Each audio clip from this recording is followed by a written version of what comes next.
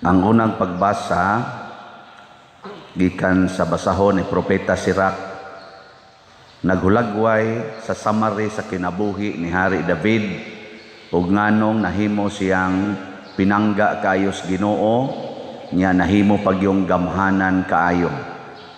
Gikan ra siya sa pagkamanunugway magbalantay og mga hayop niya nahimo siyang labing dakong hari sa tibuok kalibutan nga iyang gipangbuntog gipuo ang tanan niyang mga kaaway. Bisag gamay pa siyang bata iyan ang gipatay katong higante si Goliath. Iyan ang giblungguas liog ginamit lang ang iyang saplong. Ingon ana ka pinangga sa Ginoo si David. Kini si Hesus nga nakapadisturbo ni Herodes nga gihisgutan sa atong ebanghelyo gitawag ni siya kaliwat ni David ug mao ni siya ang bag-ong hari nga mopadayon sa pagkahari ni David. Pasabot nawagtang man tong harian ni Hari David kay na buntog naman sila sa mga kaaway dunay mupabangon ni ining maong gingharian. O kinsa man mao si Jesus Si Juan nga magbubunyag maoy maguna ni Hesus. Maoy maghatag og kanibang signal nga niabot na si Hesus ug mao ni ang manluluwas. Karon si Juan gitagaan sa Ginoo og dako kayong gahom aron pagbuntog sa kaaway.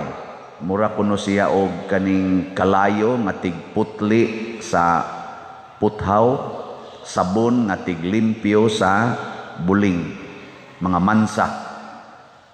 Pero lahi ang pagbuntog sa kaaway nga gihatag sa Ginoo ngadto ni David, lahi sad ang pagbuntog sa kaaway nga gihatag sa Ginoo ngadto ni Juan nga magbubunyag.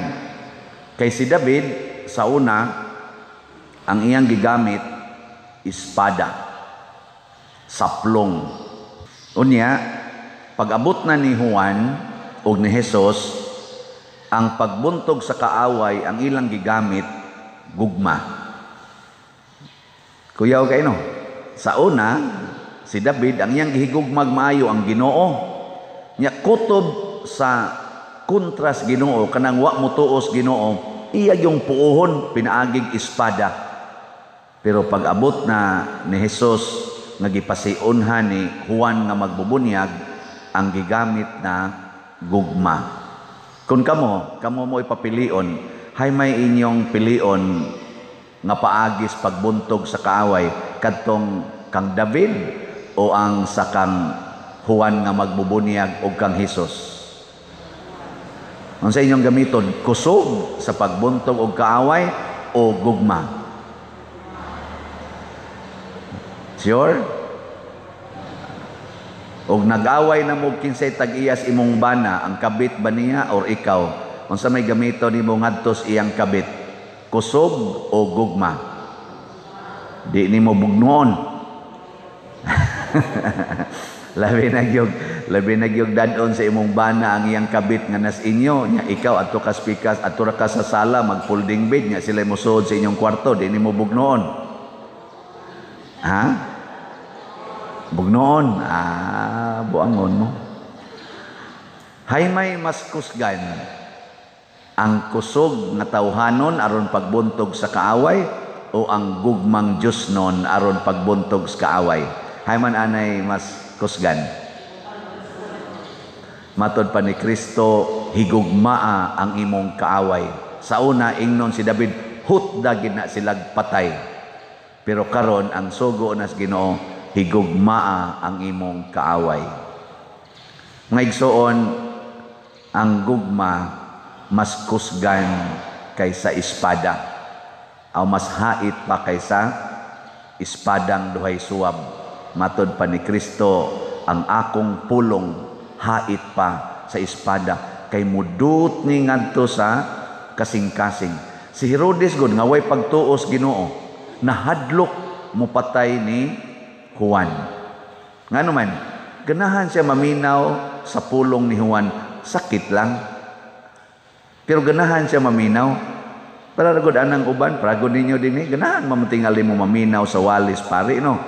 Sakit lang kung maghisgot ng mga kilay, mga koral, mga colors buhok, mga inana ba? Nabitay ni text na ako, ingon din siya, Pader, ikaw ba magsikag wali ang kiskisan ang kilay, ibton ang kilay, nga ngilad na siya. Ikaw nagpatupi mo lagi ka. Marag ko ano? Sa ingka magsikag two months kabubuton sa Ginoo. Sa may kabubuton sa Ginoo nato, niingon man go to the world and multiply. Ikaw lagi, wa man lagi ka magbinyo. Mura bi akong katuhuon sad. Nako, di na lang ka ako magpatupi no nya. Ah, ang binyo. Ah, kalami ana. so sakit-sakit wala kong hawak. Una, unsa may lungtad kung ikaw nangiskis kas imong kilay kay gisugo kas Ginoo okay ra gid na oh okay ra gid na kung namutol ko sa kong buhok kay gisugo sa Ginoo okay ra gid na siya nya unsa may timailhan nga gisugo tas Ginoo basta wa maguba ang nature para gud na nato mga kahoy diha ngano man naputla ang kahoy nga naa sa nisodag eskarsada. Pero okay rag pul pulungan. Ngano man kay nature sa kahoy mutubo ra man na siya. Mutubo. Kung ang iyang nature mutubo nya imong pulungan, okay ra na siya. Nya ang buhok unsa may nature? Tubo. Ang kokong mutubo. Paspas mutubo. Ang kilay hapit way tubo Naaragin na siya sukod. Ang kilay ba? Kay, ang kaniya kong kilay, ang wapa ni sukod, ani ang tabo na ni sa kong mata. Nara na siya sukod, og imo na siyang kiskison, inigtubo anak niya, kutob na siya. Diha sa to padili siya makahasol, pero kani akong buhok, og di ko ni putlan, mutabon na rin, mutabon diri, hasol na kaistanan. Ay noon, Padir Arnel, may putol-putol siyang buhok, yung magipatasan. Ah, basig mo sa gusto niya. Pero ako kay katol kaistanan anak niya akong kuko og dili putlan musaka magmayo hangtod na noon mura na noon ko diri og kuan majikiro tagas na kay kuko anaw si uban magpatagas pero tag sara muhasol ba nya kun putlan wa may problema kay sunod semana sunod sunod buwan na naman sad ah, wa way problema so wa maalter ang nature pero imo ganing kiskisan imong kilay ilisan imong badlis imo na nang gi-alter ang nature peligro na na. Di ba? Imong buhok, imong kuluran, gi-alter na nimo ang nature nga gihatag. Anything nga mo alter og nature, supak sa kabubutos Ginoo ug dunay katalagman nga moabot. Basta i-alter ang nature. Sa ako sang pagka lalaki, wa ko nagminyo, naguba di akong pagkalalaki. Wa. Wa jud maguba. Sige, testing eh. Testing eh. Now na itong naguba ba? Pero, wa man sad makasupak sa kabubuton sa Ginoo kay si Kristo, si San Juan, si San Pablo, San Pedro ug uban pa, wa man to si oh, San Pedro naminyo to pero iyan gibiyaan yang asawa. Ang mga apostoles wa man to mo nagminyo. Ngano man ang ilang gimultiply dili persons kung dili believers. Duha man na i-multiply. I-multiply ang persons, i-multiply sad ang believers. Mo nang naingon si Kristo, go to the whole world and preach the good news ug himua silang tanan nga akong mga tinun-an. Anya kon mogoto ka sa whole world, nya minyo ka. Uh, matod pa sa atong ebanghelyo, matud pang San Pablo biya gid ang tanan musunod gay kanako biya gid ang tanan awa na makasupak ako lang ning gisgutan kay sama ni Juan nga magbubunyag unsa may iyang gipreserve ni Herodes ang gipreserve niya ang iyang kinabuhi Mao ginay pinakakor ang kinabuhi. Unsa may gipaningkamutan ni Juan nga ma-convert ang iyang kasing-kasing aron mabag-o ang kinabuhi nga gi, gibulingan og maayo sa sala. Mo nang moingon ko, ngilad ng mangural, ngilad sa nang mag-colors book, ngilad ng magkiskis kilay, kay basig mudaghan imong sala, basig garbo ang nagsugo niya na, basig vanity, kanang gitawag og worldly, kuan lang, vanities. Nga way kapuslanan nga mga buhat nga dili related sa kaluwasan. Basin ba? Ang sala maoy nakabuling sa kinabuhi nga gusto ni Juan, gusto ni Jesus, mo nang nagpalansang sa Jesus sa cross, nga matangtang ang kanang grabe kaing buling sa sala nga naa nato. Lahom kay nang bulinga. Ay lingi ana imong tupad be. Mungutan na. Ina unsa maron imong kalag bulingon. Ina. Kay limpyo gani pasabot kana siya kusog kay na siya manglimpyo sa kalag sa iyang isig katao. Unsa may iyang ilimpyo? Gugma. Kanang gugma, mauna siya ay makapalimpyo sa sala. Kay ang tinuod natong kaaway, mao ang sala. Sala sa kadawo, sala sa kasina, sala sa kaulag, sala ni ining hakog kaitas gahom, sala ni ining pagdinumtanay, kining kasuko, kining ni ang atong pagka libakiro, libakira. Kini mo ay pertining kuyawa ning kaawaya. Kaya nga naman, mupatay ni og lawas.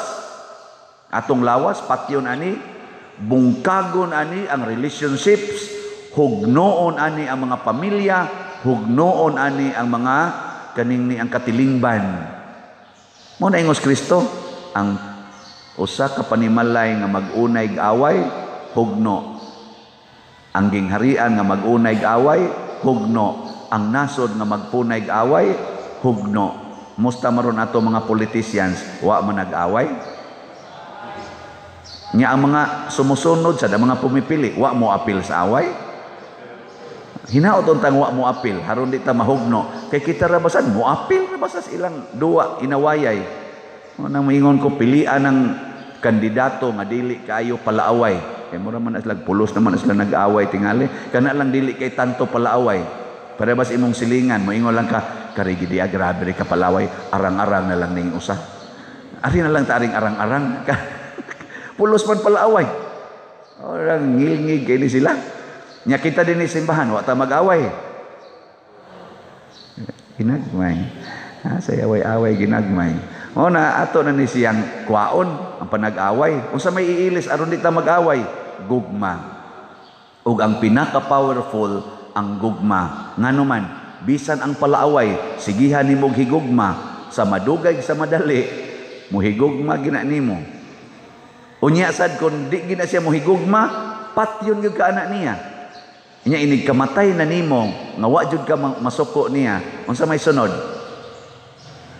daghan kaayo ang mutuo nga imong paghigugma niya genuine o labi pagani yung kuan misteryoso kay ini kahumagpatay sa imong kaaway nimo siya mahimong sumusunod nimo mo na nahitabo ni San Pablo paghuban nilang patay ni Hesus og sa mga sumusunod ni Hesus nadutlan si San Pablo nahimong sumusunod ni Hesus nga iyang gipaningkamutan sa pagpatay.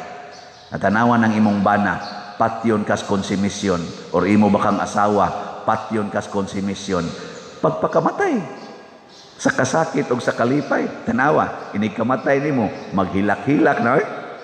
Og di sa na maghilak-hilak, kay portigid anang buangona, mura ginag si Herodias, or mura nag si Herodes, ipabutang pagbandihado ang o ni Juan, kung di gina sila muhilak, daghan kay mga kasing-kasing nga matandog tungod nimo og igo na na para sa Ginoo. Kay bisan gani kunog makapabalik tag usa ka makasasala ngadto sa Ginoo, bisag usa lang ang atong sala malimpyo og makasod tag langit. Bisag usa lang. Nang ka magpakamatay ka para sa imong bana, siguro gyud ko ang unag yung matandog, ang imong anak.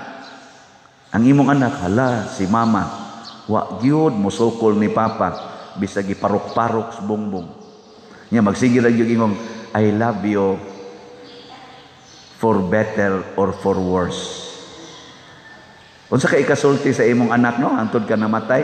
Ha- labi na mo biya magitong bana og hapit na ka mamatay, biyaan man kaato kay hadlok man tumakiha. Di ang mga anak nga mo imutabang nimo. Ra jud kag ingon, kamudong day higugma agid na inyong papa ha. Higugma agid na. Tanawa giunsa nako siya paghigugma. Nga dili gay na nako siya kadugo. Kamo dugo gid mo sa inyong papa ug akong dugo. Higugma agid na inyong papa. Pasayloa siya iyang gibuhat nga rin ako. Pastilan ang kasing-kasing sa imong mga anak. Mura gid naglumsan sa aw sana limpyuhan og mayo no. Unsa di man mumuto? Aw sa mo ikon kanang hapit ta kang mamatay portigid yung tinigbasay nya kung gapinal na kadiha nya patay na imong bana kay imong gipusil nga kining inataya ni kani kani niya. Ay gimog sunod ani kani niya. Hala tagud-taguran na ninyo mong buo mamatay man ko ani akong samad kada tiwasan na ninyo ko anang. Unsa man imong gitanom sa imong mga anak ang pagdumot sa ila mismong amahan si San Juan nga magbubunyag nagpakamatay para ni Jesus para sa Ginoo pinaagi sa paghigugma sa kaaway gipakita niya why resistance sa pagpakamatay ug hangtod karon ang mga tawo nagpakamatay sama ni Juan sama ni Jesus nahimong mga bantugang mga tig pasangyaw or tig palambo sa atong tinuhuan. Kay nga naman, kabubuton sa Dios nga moingon, there is no greater love than to lay down your life for your beloved. Nindot kay nastanan. O na, ato ning suwayag sunod ha. Sige, manindog ta.